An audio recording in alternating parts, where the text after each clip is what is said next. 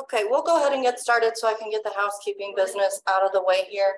Um, but I want to take a moment to welcome everybody um, to the um, Family Medicine Grand Rounds for today.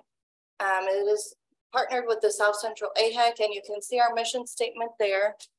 Um, also, we want to really re-emphasize to everybody, I know not everybody needs to but if you could please um, use the QR code to sign in. We are trying to track our attendance um, for programming purposes. So please, please uh, sign in. There's also for those here in person, there's a little half sheet with some QR codes on there. It's gonna be the one in orange to sign you in.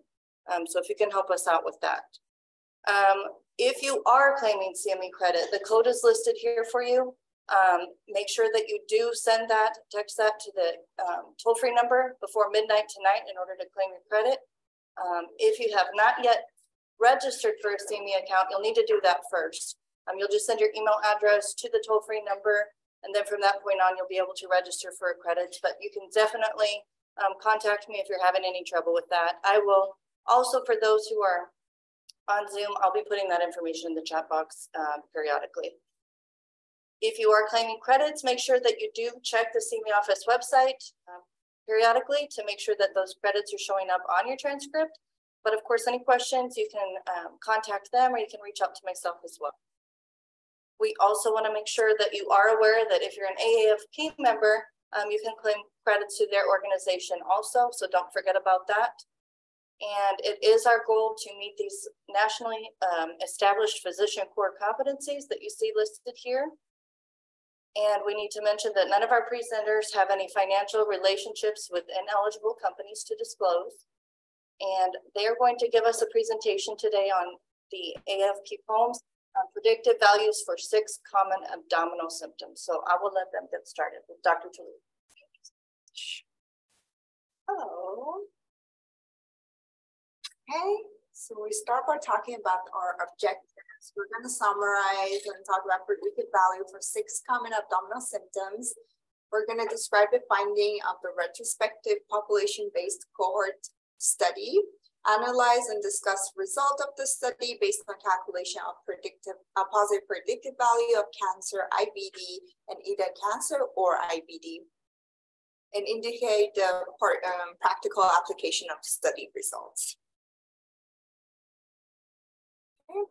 Um, as you may know, in primary care, it is difficult to assess new abdominal symptoms because around one in 10 patients have at least one symptoms, either abdominal pain, change in bowel habits, or bloating, and there can be many causes. When cancer is a possibility, there are different tests for different type of cancer, for, um, we can do colonoscopy for colorectal cancer, we can do CT scan for pancreatic cancer and ultrasound for ovarian cancer.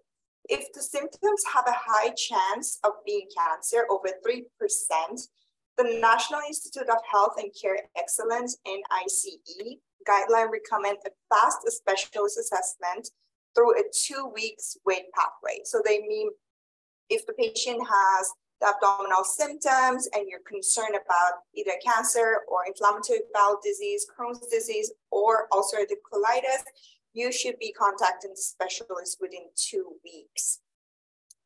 And during this presentation, we would hear a lot about positive predictive value. So here I would like to mention what positive predictive value is uh, is a statistical measure used in medical diagnosis to determine the likelihood that a positive test result um, actually represent the presence of a disease.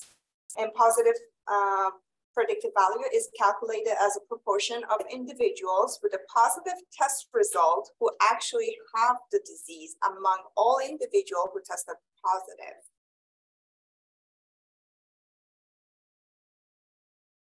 So the past studies on the relationship between abdominal symptom and cancer have been limited as they only look at um, one type of cancer and ignore that the same symptoms could indicate different type of cancer.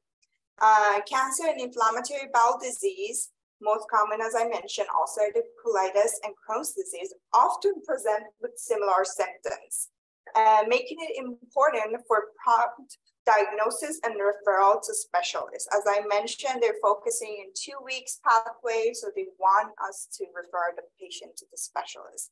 And this study aims to estimate the predictive values of common abdominal symptoms in primary care for cancer, IBD, and both combined, with a focus on values exceeding 3% threshold used by NICE to determine the need for specialist assessment or investigation. So this study used health uh, record and data from a UK primary care database uh, called THIN, which is the Health Improvement Network, to look at the relationship between abdominal symptoms and cancer or IBD. The data includes information on patient um, that they had symptoms from 742 um, general practice um, GP practices, covering 6.2% of the UK population. The researchers used a list of six abdominal symptoms, which Dr. Garcia would later show you on a chart how um, what are those symptoms and they collected the data from those patients between 2000 to 2017. The inclusion criteria for the study were patient had to have a record of an abdominal symptoms of interest at age 30 to 99 between 2001 and 2016 with no previous diagnosis of cancer or IBD.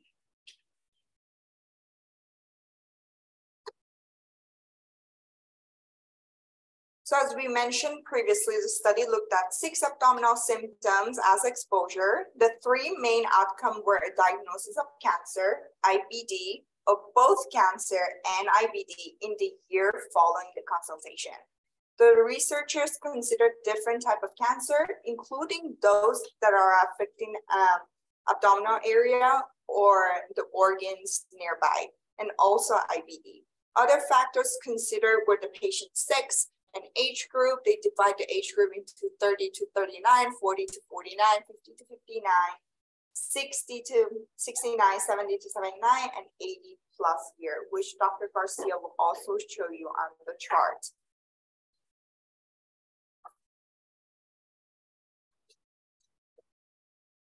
The study analyzed the likelihood of positive predictive value of having cancer, IBD, or either of them within a year after the patient had an initial visit with symptoms related to abdominal symptoms. They look at each symptom separately and also in combination with other symptoms if recorded.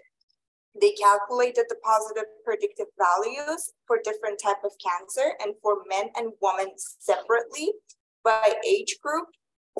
The only presented result for colon colon cancer, rectal, esophageal, and also non-abdominal cancer to avoid a small number of um, uncertainty.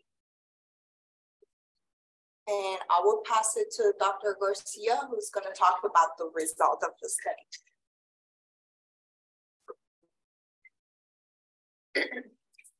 Hi, everybody.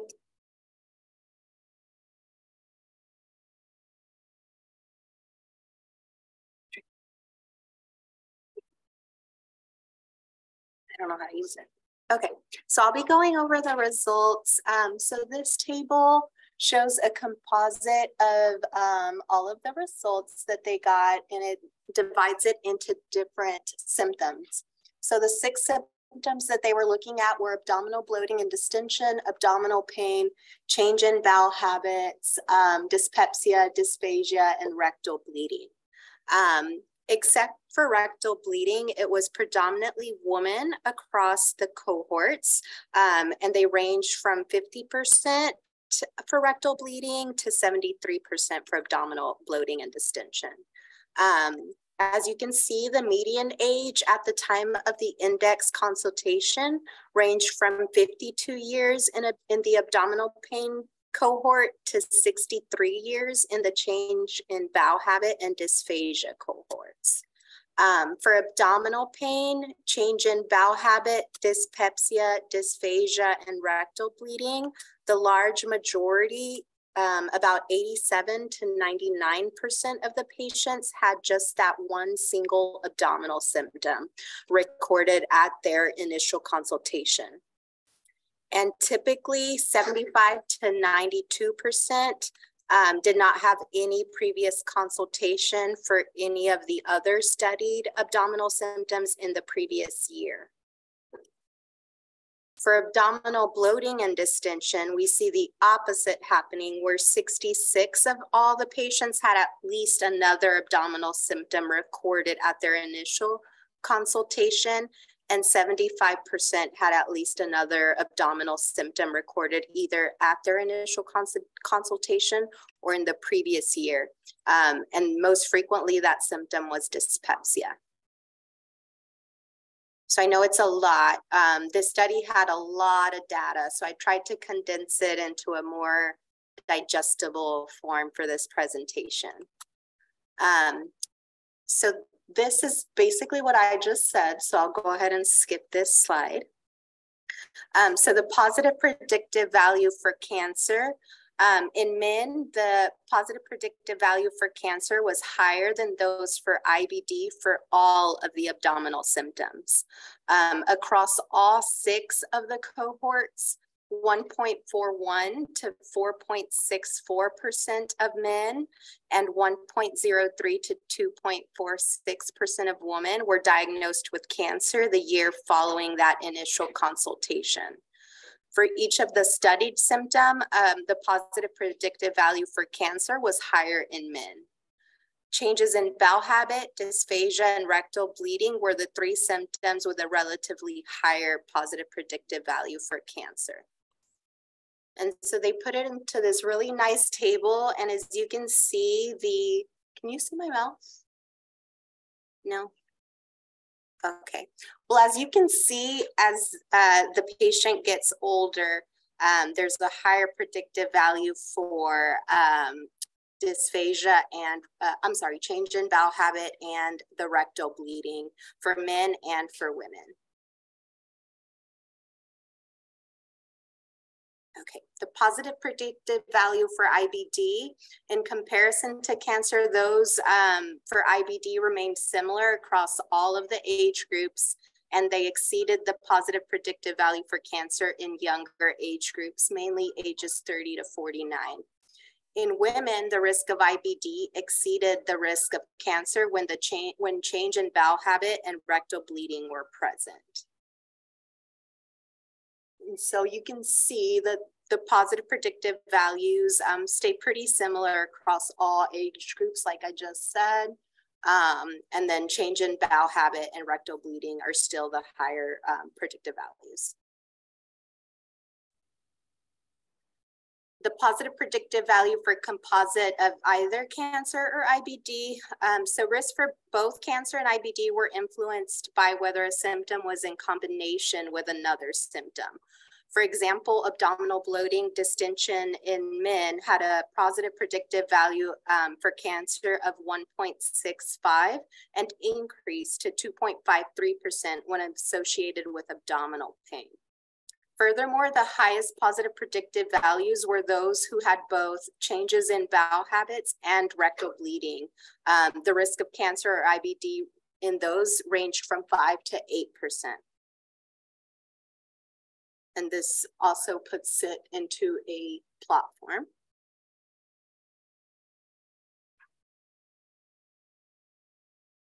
Okay, so this table and the next three slides show the number of incident cases and positive predictive values for cancer in the year following a studied symptom, and they put it into um, cancer sites. So we see colon, rectal, kidney, stomach, um, and it's divided into sex.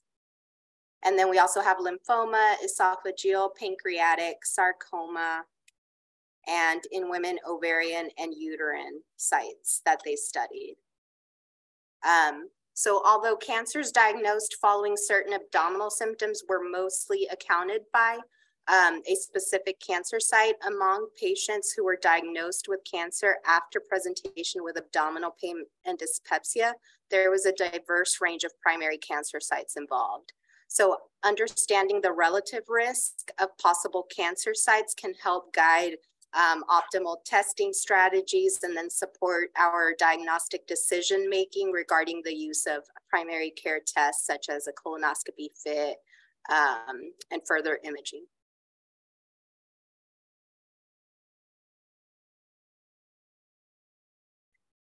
Okay, so I know that was a lot of data, so I kind of condensed it. So um, the changes in bowel and rectal bleeding can make you think colon rectal cancer. Dysphagia was mostly associated with esophageal cancer. Abdominal bloating and distension in women mostly linked to ovarian cancer. And then abdominal pain and dyspepsia had um, relatively low positive predictive value with a broader range of different cancer sites. Some of the study limitations include um, needing to work up additional features in risk stratification, other presenting features, comorbidities, family history. Um, also, these findings were based on general practice consultations within the National Health Service in the UK, which is characterized by a well-developed free point of access primary healthcare system with a gatekeeping function. Um, these findings may not be applicable to other health systems such as ours, where social determinants of health, such as financial or structural barriers to access, accessing healthcare exist. So the outcome, um, using a cutoff of 3% from the National Institute for Health and Care Excellence, dysphagia or change in bowel habits in men and rectal bleeding in women should trigger referral for further workup to exclude cancer or inflammatory bowel disease. Symptoms such as abdominal pain, changes in bowel habits, or dyspepsia in patients older than 60 years should be investigated because they predict cancer or IBD in more than 3% of men and women. That's a level um, evidence 1B. And for practice applications, specialist referral decisions can be made considering the predictive values of common abdominal symptoms for cancer alongside that for IBD and the composite outcome of either cancer or IBD and jointly assessing the risk of cancer or IBD can better support decision making and prompt diagnosis of both conditionings conditions, enabling specialist referrals or studies, um, particularly of women.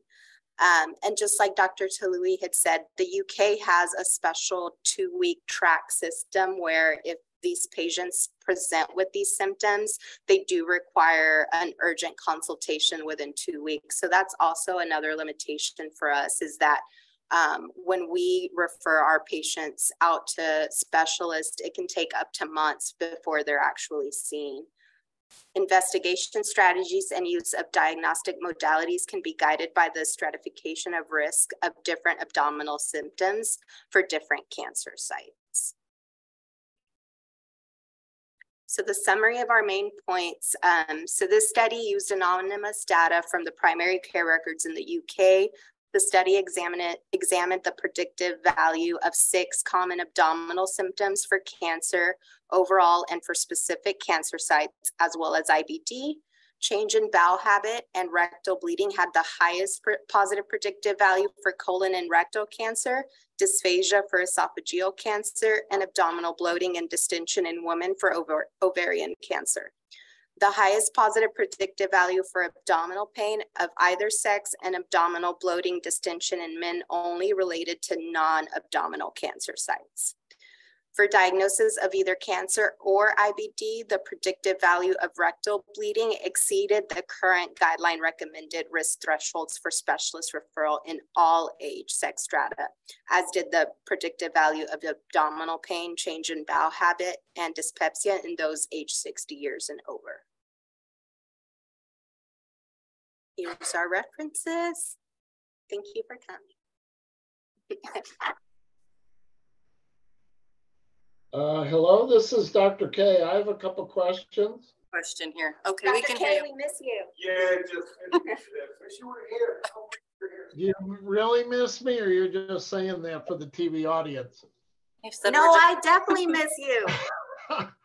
All right, I have a couple questions. Did this study, in addition to the predict, positive predictive value, did they also present likelihood ratios? And to what extent, the second question is to what extent does this, does the population demographics reflect our patient demographics? So they did not do likely. oh, Um, the first one is, uh, part one of his question is, did they study likelihood ratios? And then the, how does the patient demographics of the UK compare to our patient demographics? Um, can we go back to the very first slide where it showed the patient, or my results slide? So they didn't do likelihood ratio, Dr. K just positive predictive value. Okay, and then here are the patient demographics. So they really only um, show the age group and then the sex. They don't really give us any other specific um, demographics. Okay, so the reason I'm asking is that the positive predictive value, value applies to the population in which the test was done.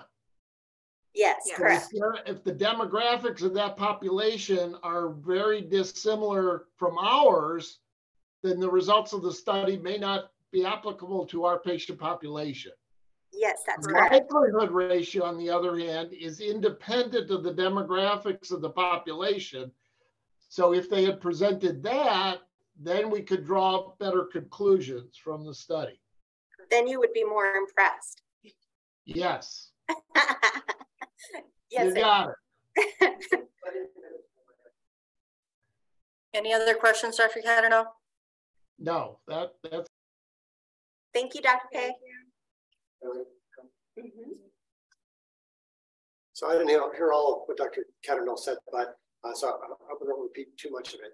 But, um, but I, my question was that if you, they had six symptoms, right? And so, and so it it looked like, like if you have this symptom, your chances this, if you have that, so, did, did they do an analysis where they have, if you have like two symptoms, three? Yes, Yeah, so, so the positive predictive value increased if they had more than one of the symptoms present. Okay. Yeah, so I think that's, I mean, I think that's important to keep in mind. I, Yeah. I, the, the, the main comment I was gonna make is the whole concept of positive predictive value. I can guarantee you, well, the third years, this is gonna be on your boards. There'll be more than one question. on it. And that's, well, I guess that's true for everybody as a family physician here. I mean, all of us gonna take the board again, right? So, um, so just keep that in mind and understand that. And, and I think, I didn't hear all what Dr. K was saying, but alluding, he was at least alluding to the fact, um, if, if you got one population and the incidence of disease in this population is one thing, then the predictive, the predictive uh, value of, of the finding is gonna be different if the underlying percentage of people in the population that have the disease is different, right? So, so they, they, you'll end up getting a calculation on your boards about that, so you, I'm not gonna go into it today because I kind of need a chalkboard to show you, but be happy, be happy to explain it to you guarantee you'll get that. So anyway, um, the answer is, well, twenty-five percent of the time, the answer is C. So what Dr. Catterall was saying was um, that if they had calculated calculated the likelihood ratio, it would have been more applicable to our populations. But because we don't have their specific demographics, we don't know if our population matches their demographics, so we can't really apply the positive predictive value. There are other limitations, I believe that one year is not very. For colon cancer to show it's, when you are talking about one year, uh, they were stage three or four of colon cancer, and they were able to diagnose them. Agreed. Any other questions? Thank you, everybody. So I think we're good. If everybody could just also please um, take a moment, if you haven't signed in, I know I already said that. Um, also, if you can fill out the evaluation, I put it in the link for those who are joined on Zoom. So if you can give us some feedback on today's session. And then those in person, if you could use both QR codes there in front of you to help us out. Thank you, everybody, very much.